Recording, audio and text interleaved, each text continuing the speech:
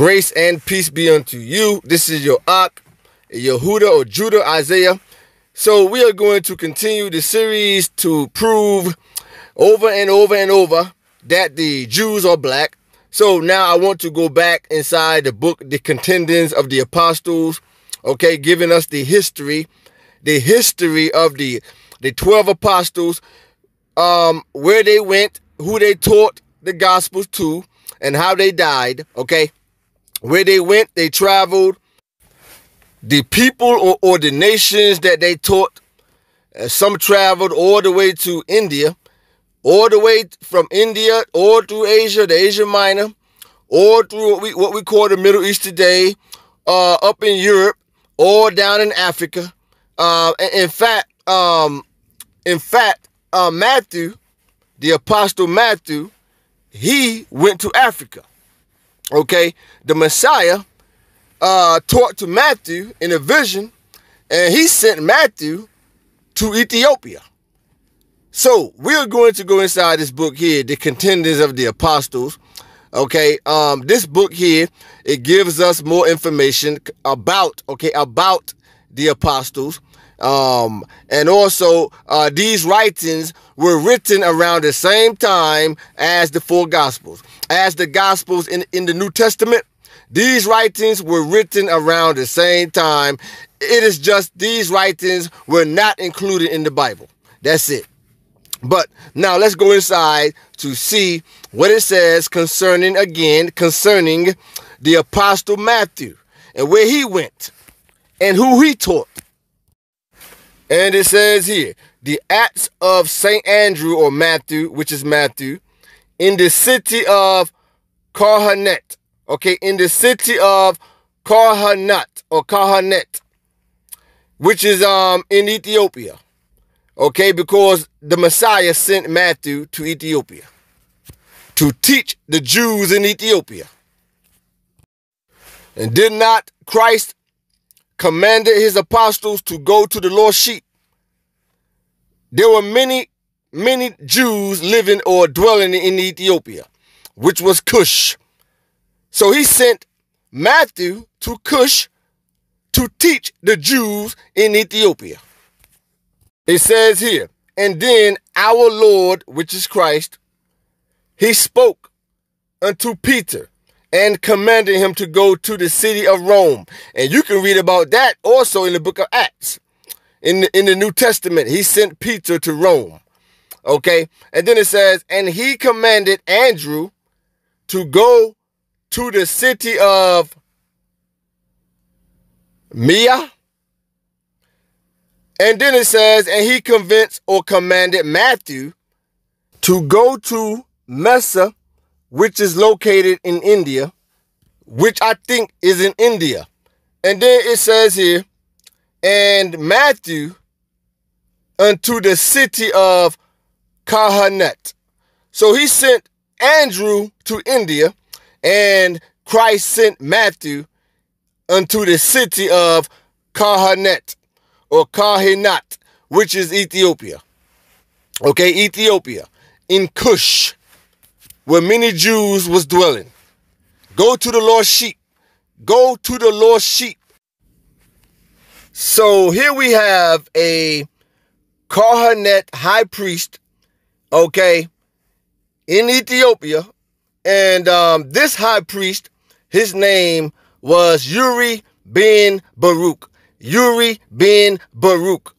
Okay, Baruch, a high priest in Ethiopia. Okay, a real black Jew, Uri bin Baruch. It says Uri bin Baruch, December the 21st, 1984. It says that he was a liqua or a liqua Kohanet, okay, Kohanet, the same location that Christ sent Matthew to go teach the Jews. In Kohanet, it says he was a Kohanet, high priest, and the main leader. It says the main leader of the Ethiopian Jewish community for nearly 50 years. It says from the Italian occupation of Ethiopia and until his death. But it says that he was the main or one of the main leaders of the Ethiopian Jewish community. So you're talking about back in around the time of, of World War II. Okay, World War II, and this is when he was living. Okay, so once again, um, Ben Baruch, a, a Kohanet high priest, okay, the same location that uh, Matthew went to. He was a high priest, the main leader of the Ethiopian Jewish community for nearly 50 years. It says, from the Italian occupation of Ethiopia and until his death. Until his death. But no, these camps, they want to talk about the Hispanics, which are Europeans or of European descent, and the Mex and the Mexicans when in fact the original Aztecs was black, the original Taino Indians were black, the original Native Indians in, in North America, etc., were black. They want to talk about these peoples, but they don't focus on the Jews of Ethiopia, of Cush, as it is written in the Bible. Okay, as it is written in the Bible, we are going to prove and show that the Ethiopian Jews, and they are called the Ethiopian Jews just as you are called American. Okay, they are called Ethiopians, but their bloodlines link them back to Jacob, Abraham, and Isaac. Just like you are called an American, just like the next brother may be called a Jamaican, or somebody from Trinidad, or a Trinidadian, etc. Okay, so yes, they are called Ethiopians because they, they live in Ethiopia. This is the reason why they are called Ethiopian Jews. But as you continue to watch this presentation, you will see that no Europeans converted the Jews of Ethiopia. Not one European converted the Jews of Ethiopia.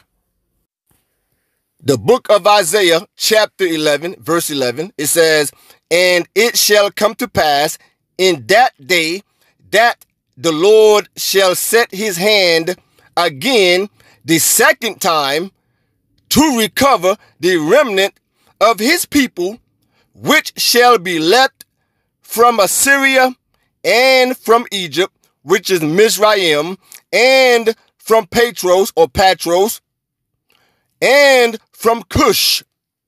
And Patros or Patros was located in what was called Upper Egypt, which is really southern Egypt, which is really close to Cush, like like right there at the borderline of Ethiopia or Cush. And Elephantine, Elephantine was located in Patros, or what used to be called Patros or Patros. And Elephantine, it still exists today.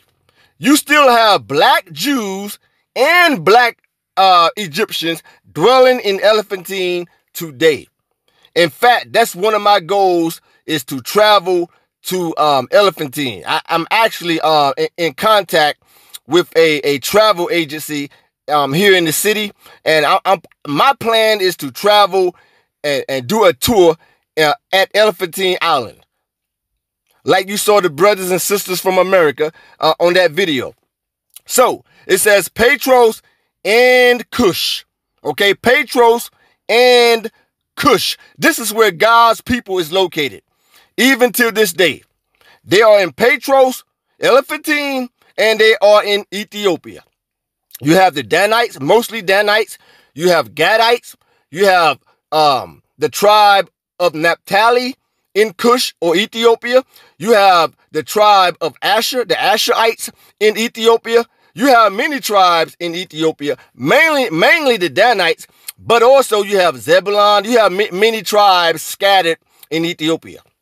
So when you look at the Falasha Jews, right, which means Beta Israel, which means stranger, they was they was given that name, okay, by the local uh real black Hamitic uh Ethiopians. Okay, but among the uh, uh the Falasha Jews, you also have some Gadites among the Falashas. You have some Asherites among the Falashas. You have some Zebulonites among the Philistines, etc. Not just the Danites, mostly Danites, but not but but not all Danites. Okay, not all Danites. So here I am going to go inside my book here, The Hidden Truth in Hebraic Scrolls Tanakh with the commentary, okay? With commentary. Okay, with the correct translation. A better translation than, than the uh, the KJV Masoretic. You see here it says the set apart scriptures for the assembly of Israel. Okay, so we're going to go inside this translation. I decided to use this translation today. So now I'm going to First Chronicles because now when we're dealing with First Chronicles, many people don't know that Ezra, the scribe Ezra, he wrote First Chronicles. Okay, in the captivity, Ezra was able to uh, go to all the leaders of all the tribes, okay, and speak to the elders of the tribes and, and speak to the um the princes of the tribes and get the genealogies of the tribes. But Ezra was not able to um to get the genealogy of the tribe of Dan because the tribe of Dan they had migrated to Ethiopia. In fact, they migrated some hundred years before um, the Assyrian captivity of the northern kingdom. They have migrated to Ethiopia. Okay, so uh, Ezra was not able to get the the genealogies from from the leaders of the tribes. This is how Ezra got the, the genealogies uh, to write the book of Chronicles. He went to all the leaders of the tribes, all the tribes, and he spoke to the elders and they had the genealogies and he got the genealogies and this how, this is how he was able to uh, collect collect all the names from each tribe, from Simeon all the way to Judah, except the tribe of Dan. He was not able to to get the genealogy of the tribe of Dan because the tribe of Dan they had migrated to Ethiopia. So now this is First Chronicles, okay? I'm inside my book here. You can see right here, okay? Uh, a better translation, the Hebraic scrolls. All right, First Chronicles. In the Hebrew, it is pronounced uh, Dibri Ha Yamim Aleph. Dibri Ha Ha Yamim Aleph. Okay, Dibri or Dibre, Dibre Ha Yamim Aleph. First Chronicles in the Hebrew. And this book is excellent. I love this book because it also gives you great commentary. Okay, so let me show you right here. You see right here, all the names for Noah, or Noach, Noach, and Shem, and Kam, etc. Now when we get to chapter 2, First Chronicles chapter 2, let me get to it right here. First Chronicles chapter 2. You see right here, First Chronicles chapter 2. Let me get set up here. First Chronicles chapter 2. It says here, These are the sons of Yisrael, Reuben and Shimeon, which is Simeon, Shimeon, and Levi, which is Levi, and Yahuda, which is Judah, and Yakar, which is Issachar, and Zebulon, and Dan, you see that, and Dan, and Joseph, which is Joseph, and Benjamin, Benjamin, which is Benjamin, and Naphtali, and God, or God, which is Gad, and Asher, and Asher. Okay, so he gives you the name of the tribe of Dan also. He gives us the name.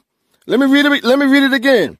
These are the sons of Israel: Reuben, Shimeon, Lewi or Lewi, which is Levi, and Yehuda, and Yakar, which is Issachar, and Zebulon, and Dan, and Dan, and Joseph, and Benjamin, which is Benjamin, and Naphtali, and it says, and God or God, God or Gad is spelled G-A-W-D, and Asher. But I just want to show you that Dan, the tribe of Dan, is listed in First Chronicles. However, the sons and daughters of Dan mainly the, the sons of Dan, is not mentioned in First Chronicles because Ezra was not able to go to the elders of the tribe of Dan to get the list of the tribe of Dan, or, or, or, should I say the genealogies of the tribe of Dan, because the tribe of Dan had already migrated. But, however, Eldad the Danite, he had the genealogies or the copies of the tribe of Dan. Let's go inside the Jewish travelers in the, the Middle Ages. Okay, here we go here on page 14. Okay, Eldad the Danite is given the genealogy because the Danites had the records. They took the records with them when they when they migrated, okay? So it says here, he gives the the genealogy that Ezra uh, did not have. This is the reason why you don't see the genealogy uh, uh of the tribe of Dan in First Chronicles. However, he does mention Dan as one of the sons of Israel or or Israel or, or Jacob, as I showed you. Okay, First Chronicles chapter 2 verse 1. He lists Dan as one of the sons, but he did not have the genealogies.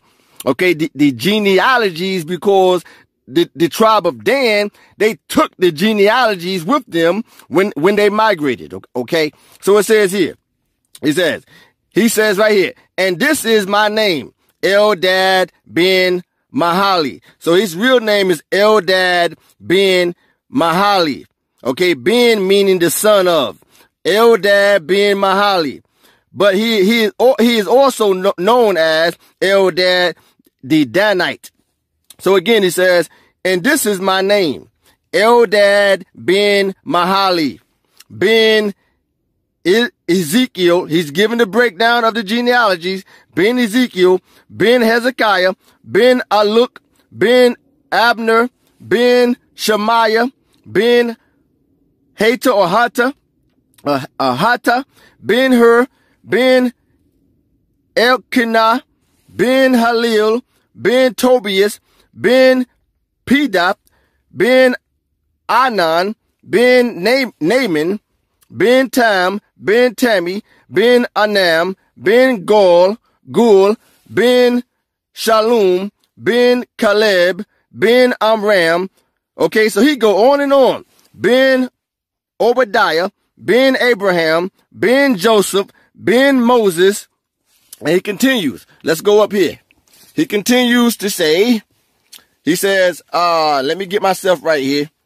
He says, Ben uh, Jacob, Ben Kapoor, Ben Ariel, Ben Asher, Ben Job, Ben Shalom, Ben Elihu, uh, Elihu, Elihu, Ben Ahalab, Okay, he go on and on. Then he says, Ben um, Ashamak, Ben Hashim, Ben Dan, okay, Dan, Ben Jacob, okay, Ben Jacob, our father. You see that? Ben Jacob, where it says Ben, the Dan, and Ben Jacob.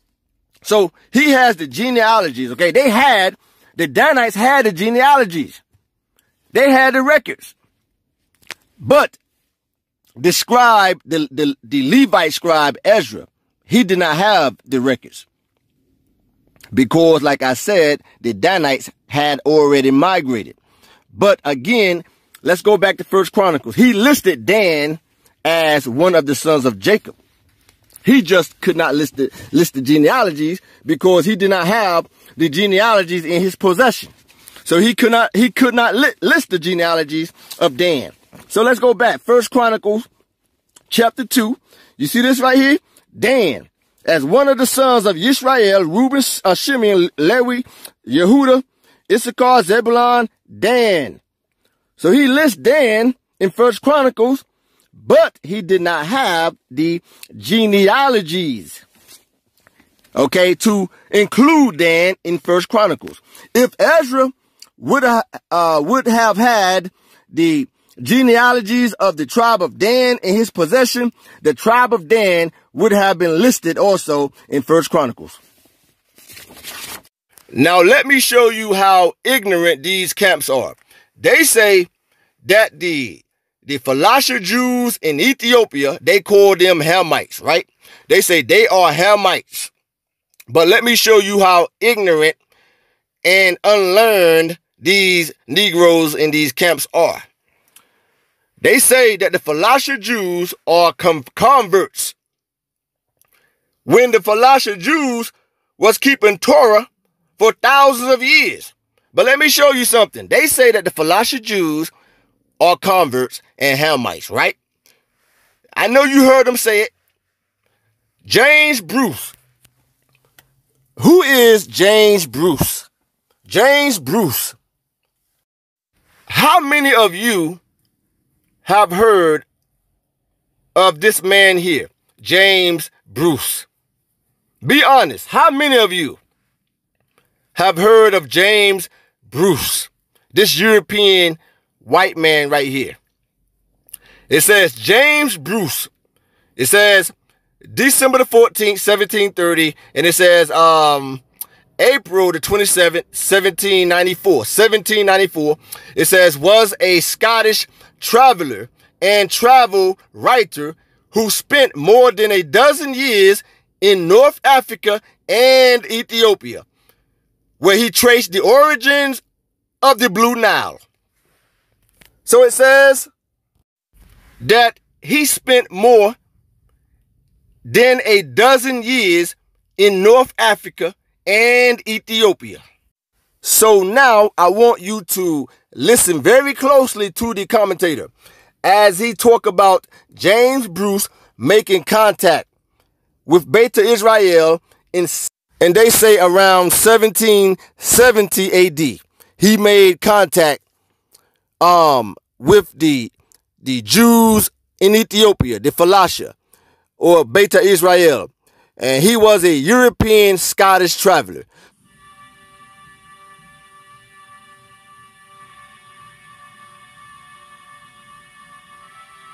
These villagers in the Simien Mountains of the Gondar region of Ethiopia call themselves Beta Israel, the House of Israel.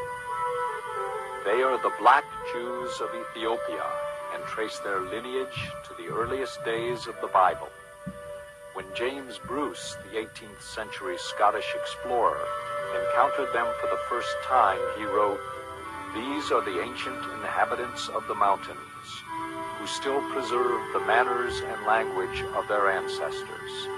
They are the only potters and masons of Abyssinia, and in this they excel greatly, and in general live better than the other Abyssinians, which in their revenge attribute to a skill in magic. To this day, the Ethiopian Jews are reputed by their superstitious neighbors to possess supernatural powers. Ethiopia and much of Africa, smithing is associated with sorcery. The Falashas, as the chief practitioners of this craft, are viewed suspiciously by other Ethiopians, who fear the Falashas can cast an evil eye or buda upon them. After the Ethiopian Jews lost their independence in a series of wars in the 16th and 17th centuries, they were banned from owning land and branded falasha, or outcasts. Since that time, the Ethiopian Jews have relied on their skills as metal workers, weavers, and potters for their economic survival. How the Falashas acquired their metallurgical expertise is not really known. Possibly they learned from Yemenite Jews who crossed the narrow straits of the Red Sea to trade and live in early Ethiopia. Living in isolation for centuries, the Falashas thought they were the only surviving Jews in the world. Jacques Faitlovitch was among the first European Jews to work for the preservation of the Falashas. Deeply impressed with their devotion to Judaism, he wrote, They adore a God of life, of righteousness and justice. Always in their thoughts, he inspires them with hope in a future of universal peace and harmony. In praying, they raise their souls to the infinite.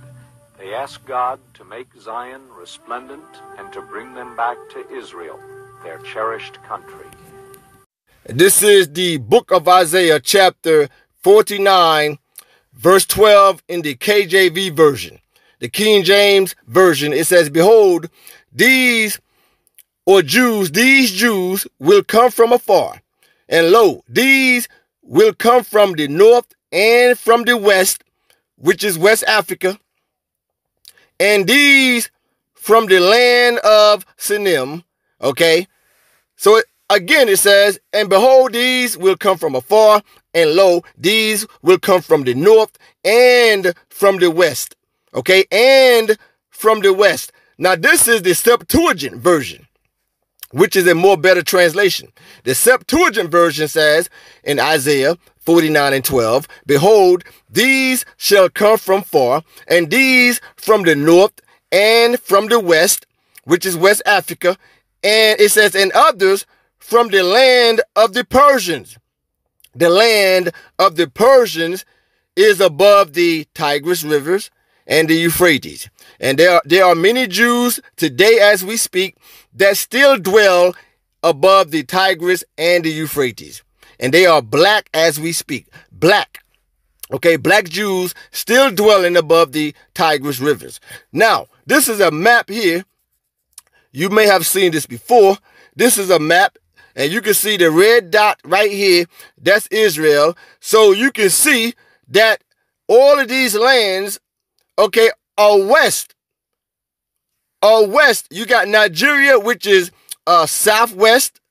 The red dot is east. And all the other lands like Libya, uh, Mauritania, um, Nigeria, and also the country Chad, which uh, is a corruption of the word Ohad. Okay, the word Ohad is a uh, Hebrew word in, in West Africa. You can find that name in West Africa, Ohad. So Chad is a corrupt, corruption of that word. So when Isaiah 49 and 12 says, and these shall come from the west, it is speaking about um, West Africa. Okay, so let me blow up this map here in Google. You can see Israel right here, okay, which is northeast of Africa. Uh, Ethiopia and Kush in Egypt is mainly uh, southeast uh, of Africa. Okay, but other lands are west. Okay, west of uh, of Israel, west of Israel. Okay, you see Iraq. You can see the Euphrates and the Tigris rivers, and up north you have Georgia, etc. So this is um, just to give you another look. Uh, way over here, you see the Persian Gulf and Iran, okay, which is mainly east or northeast. Okay, Iran is northeast. And uh, let's go back now. So you can see Israel, right? And you can see Egypt. You can see the Nile River. All right. So, um, crossing the Nile River and the rivers of Ethiopia is West Africa. West Africa. That is why also it says in Zephaniah 3 and 10, from beyond the rivers of Ethiopia. Okay, so uh, all of these lands are west. When you look at the map, they are west, okay, west of Israel. West. And some are southwest, southwest and west. Inside the book, The Jewish Travelers in the Middle Ages, Eldad the Danite wrote in 880 AD, okay, 880 AD. Keep that in mind, 880 AD. He wrote that, he says right here on page 11, he says, and these tribes being Dan, the tribe of Dan, Naphtali, Gad, and Asher, they dwell in ancient Havilah, okay, where gold is and in goodly places, okay. But it says the tribe of Dan, he said, migrated first. And then right after the death of Sennacherib, he wrote that the tribe of Naphtali, Gad, and Asher, they also migrated to um, Ethiopia or Cush. And he wrote that the tribe of Dan, Naphtali, Gad, and Asher lived side by side. When you continue to read, when you continue to read the story, that they all lived side by side and they fought the surrounding uh, Cushite tribes constantly. Now let's go to another Jewish traveler and let's see what he wrote. So now I'm on page um 153. Now this is another Jew, a real Jew, black Jew. His name was Elijah Ferreira. Elijah Ferreira. It says here he he dates back to 1434. Okay, 1434 AD. 554 years after Eldad the Danite. Okay, keep that in mind. 554 years after Eldad the Danite. Now, Eldad said that the tribe of Dan, Naphtali, Gad, and Asher, they live side by side, right? In Ethiopia. By the, by, it says by Havilah. Okay, Havilah. Now, let's see if, uh, 554 years later, if, um, Elijah also wrote the same thing when he visited Ethiopia. All of these early Jewish travelers, all they did was travel um, and visited different tribes throughout Africa and the, what we call the Middle East today. So now let's go see if he wrote the exact same thing that Eldad said. Eldad the Danite said some some um some some 554 years before. Let's see what he said right here. Now remind you again, this is 1434 AD. Okay, 1434, 554 years later, after Eldad Danite. Let's see if they still was dwelling beside each other. It says right here. Now remind you, Eldad Danite was 880 AD, 880 AD. Okay, 880 AD. Okay, Elijah, 1434 AD, 554 years later. Let's see if they were still living side by side 554 years later. It says here, and the children of Moses lived upon the island uh, situated, it says, near the river Sambatyon, the same thing Ezra said, and the tribe of Manasseh lived opposite then it says, beyond this river, it says, are the tribes of Dan, Naphtali, Gad, and Asher. The same exact thing that Eldad the Danite wrote. He said that the tribe of Dan, Naphtali, Gad, and Asher were living side by side way back in 880 AD, 880 AD. 554 years later, in 1434 AD, Elijah uh, came on the scene, Elijah Ferreira, and wrote the same thing. He visited them, these, these Jews, and they were still living side by side. 554 years later. Now you tell me, you tell me if these uh, Hispanics and Mexicans are Israelites. And you tell me if the Falasha Jews, and that was given that name as an insult, you tell me that the Beta Israel, okay, are not uh, Hebrew Israelites. You're a liar. They were speaking Hebrew. And so the next question that I have, do anybody know about this man here? He was a was a uh, a, uh, a emperor of Ethiopia. His name was uh, Yishak or Isaac in 1440 AD. Okay, about seven years after uh, the Jewish traveler Elijah Ferreira. Seven years after, in 1440 AD. Okay, this man here was the emperor of Ethiopia. Okay, seven years after. Now keep in mind Again, Eldad the Danite was 880 AD. 554 years later, Elijah Ferreira, he came on the scene and visited the Jews and the tribe of Dan, Gad, Naphtali, and Asher. They were still living in the same location. And this emperor here, he was about 26 years before, okay, before Elijah. The Jewish traveler Elijah. 26 years before him. So it says here, Yishak or Isaac, it says right here, uh, the throne name, Gabra, etc., his throne name, it says, was the emperor of Ethiopia. You see that? The emperor of Ethiopia from 1440 through 29, it says that he was a member of the house of Solomon. Okay, Solomon. And he was the second son, okay, the second son of Emperor Dawit the first. Okay. So this man was the emperor of Ethiopia in 1414 through 1429. Okay, so he was before uh, Elijah. Okay, he was before Elijah and after Eldad the Danite. So when you're dealing with timeline, he was after Eldad the Danite and a little before um, the other Jewish traveler, Elijah Ferreira. But look what it says here. It says that Yishak or Isaac reign was marked by a revolt of Beta Israel. By a revolt.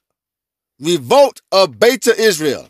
Showing you that even back when he was the emperor, okay, the Beta Israel were still keeping the Torah, but he was trying to convert them. Okay, so it says again that Yishak or Isaac reign was marked by a revolt of the Beta Israel. It says in response, the emperor marched into uh Wegara. Okay, that was a, ter a territory of Beta Israel. But showing you that even back then, they was keeping Torah. Before the year. So as you can see, nobody converted Beta Israel. Now, let's fast forward. Let us fast forward, okay, to the year of 1867. Okay, about 400, roughly 400 and some change years later, after, um, after, um, the Emperor Isaac and or Yishak and and um Elijah, the other traveler, the Jewish traveler. Some 420 plus years later. Now this time, this traveler was a convert European Jew named Joseph Halevi. Okay, he was a convert and a Jewish uh, organization. They sent Joseph Halevi to Ethiopia to investigate Beta Israel. Now it said it says that when he got down to Ethiopia, he was astonished to see Beta Israel keeping Torah.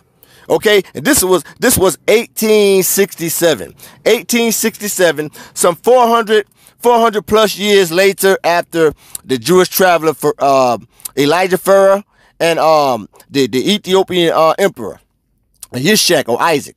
Okay, 1867 he went down to Ethiopia to investigate. And the Jewish world knew almost nothing of Beta Israel. Over the centuries, scattered reports told of Jewish tribes living beyond the mythical Sambatyon River, of a remote African land inhabited by the ten lost tribes of Israel. Around 1775, Scottish explorer James Bruce reported the existence of Jews in Ethiopia. In the mid-19th century, French researcher Antoine d'Abbadie reported meeting Torah-observant black Jews. But real contact came only in 1867, when the French Kol Yisrael Haverim organization sent Professor Yosef Halevi to investigate Jewish life in Ethiopia. Famous Jewish scholar Halevi made his epic journey to Ethiopia in the 1860s, he was astounded to find that the Ethiopian Jews had maintained the Jewish lunar calendar precisely throughout the centuries, and that their religious observances coincided exactly with the religious holidays held by Jews around the world. In fact, he discovered an ancient Jewish people strictly observing the tenets of the Torah, the bedrock of the Jewish faith. The people prayed in Ge'ez, an ancient Semitic language now almost extinct, and today only used in religious services. In this rare film clip, the Kessis are leading the people in the observance of this Seged. So as you can clearly see, no European converted no black Jews in Ethiopia. Okay. They were keeping Torah, okay, since the 10 tribes migrated to Cush. And this is why also uh, God told Isaiah to write in Isaiah 11 and 11, okay, uh, that, that his people were scattered in Cush, Ethiopia. If God said that his people are scattered in Ethiopia, then who is his people? Who is his people? They cannot be Hamites. But I want to leave you guys with one more scripture here. Back inside my Abrahamic Faith Bible, this is the book of Psalms 87. Let me prove to you even further, even King David prophesied that the Jews will be in Ethiopia. This is Psalms 87, verse 4. In fact, let me start at verse um verse 3 and 4. It says here, it says, glorious things are spoken of you, O city of Elohim, Selah. Verse 4. In fact, let me, let me read verse 3 one more time. Glorious things are spoken of you, O city of Elohim, Selah. Verse 4. I, God, God says, or Yahweh or Yah, he says, I will make mention of Rahab in, in, in the KJV, it says Rahab, and Rahab is Egypt, another name for Egypt. I will make mention of Rakhab or Rahab in your KJV, and it says, and Babylon, and to them that know me. God says, behold, Philistia and Tyre and Cush, it says Sudan, okay, and Cush, Sudan, God says, this man was born there. This man was born there. In other words, King David is prophesying in, in a later, a later future. Okay. Okay. Uh, he's prophesying that the Jews will be born in Egypt, will be born in Babylon, will be born in Philistia, Tyre, and it says, and Cush, it says, with Cush and Sudan. It says that this man was born there. That this man was born there. So David even prophesied that the Jews will be born in these lands. So with that, I say grace and peace be unto you all. Uh, you can clearly see that Beta Israel, okay, was keeping Torah, okay, long before the white man even, even got there. Long before, um, Joseph Halevi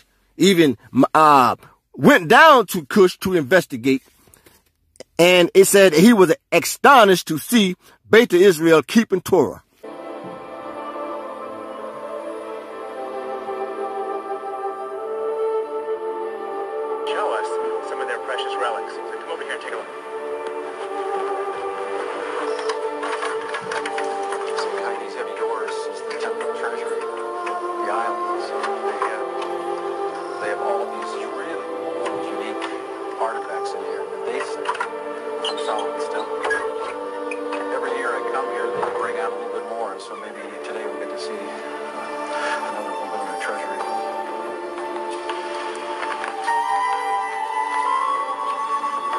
This is, a, this is called a gomer, gomer, and it's made out of bronze.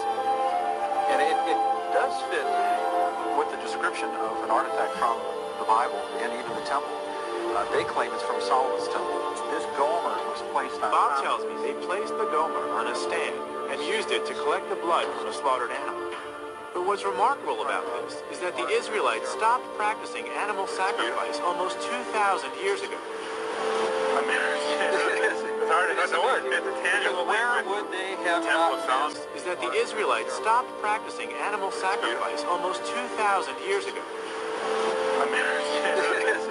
That's the word. It's a tangible Where would they have Temple sound. I mean, it's hard to That's the word. It's a tangible Where would they have Temple sound. It's a tangible Where would they have Temple sound. It's a tangible Where would they have Temple of Solomon, the Jewish people. Of course, this is quite old. But that's just the beginning. This is a treasure trove of religious relics, and each one seems to take us closer to the true story of the Ark. Moses is holding the two tablets of the Ten Commandments on this. They're pulling all kinds of stuff. The monk is now bringing out a couple of pretty, pretty interesting objects. They call them meat forks. People were a lot smaller in ancient times. But this is very old, and I think it could possibly have some kind of connection with um, priestly garments and, and the sacrifices of the animals by the Levitical priests. Well, the only, from, from what I know of, of uh, ancient Judaism, person who wore the breastplate was the high priest. But he would have had a, uh, a plate on the front of this that had the stones of the 12 tribes of Israel.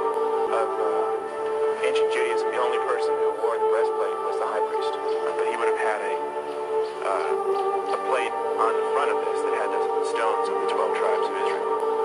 So if this is here, all the other stuff says a lot, but if this is here, then it almost requires that the high priest was here.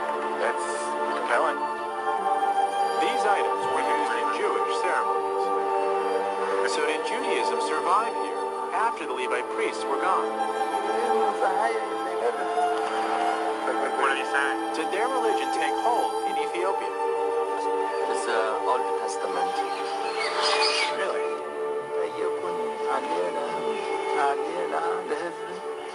This whole area was Jewish, and uh, they they called themselves uh, Beta Israel or House of Israel. And so the, the, the historical Jewish roots go back to this area from about 500 BC. This whole area was Jewish, and uh, they they called themselves uh, Beta Israel or House of Israel. And so the, the, the historical Jewish roots go back to this area from about 500 BC.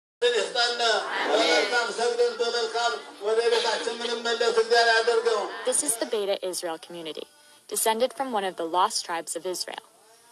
For thousands of years, they held on to their Jewish tradition in Ethiopia, celebrating the Sigd, a holiday symbolizing the acceptance of the Jewish covenant on Mount Sinai.